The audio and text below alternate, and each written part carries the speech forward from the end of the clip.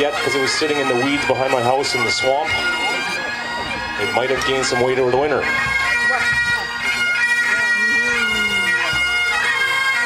Okay, folks. Look at Tim McLean. He's not a pretty man. You got to clap, make him feel good about himself. Let's go. Come on, Tim. This is not golf in any way, shape, or form. You guys can make as much noise as you want. Help Tim get his caber over. folks. Come on, Tim.